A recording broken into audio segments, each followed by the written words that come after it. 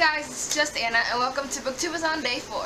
We found Wonderland, you and I got lost in it. So today was like a really weak reading day for me. I haven't read in all day. I am going out actually to see Paper Towns because I haven't seen Paper Towns yet. So I'm gonna go see that. So I don't think I'm gonna get much reading done today, but I'm gonna try to read tonight. I haven't even started just one day, but I'm going to start it. So today's challenge was to make a book trailer. I was like, please be an easy challenge, please be an easy challenge. And then when he posted the challenge, I was like, oh my god, like the hardest one. I was really busy today, so I woke up really early to do it. This is my book trailer for the book Pish Posh by Ellen Potter. I hope you enjoy it. Hey Steve, roll the clip. I'm Clara Frankofile. I'm a somebody. And my parents, well, they own the best restaurant in New York City, the Pish Posh. My job, you ask? Well, that's simple. I kick out all the nobodies.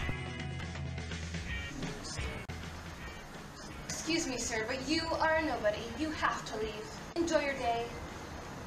And yet, you have failed to notice something that's happening right under your nose.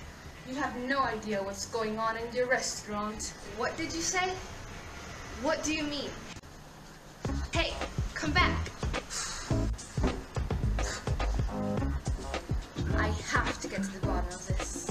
Since that day, Clara spent days and nights at the restaurant trying to figure out the mystery until... Who's there?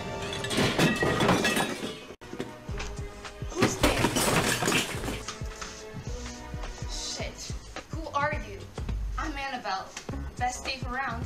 So you're the one who's been stealing my stuff. So, Annabelle, just let me leave.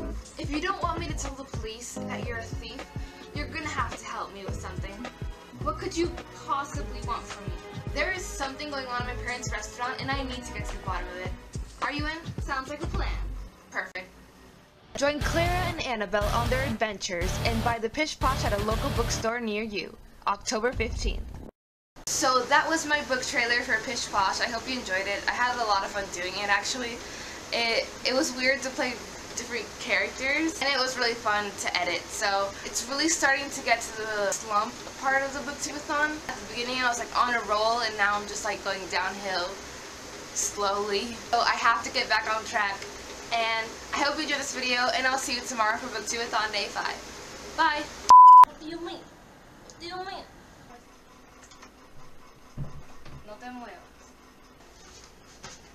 Every day is gonna be a different guy, you know? I have lots of guys working for me so they can roll my clips. Yeah, you got it, Steve. Roll the clip.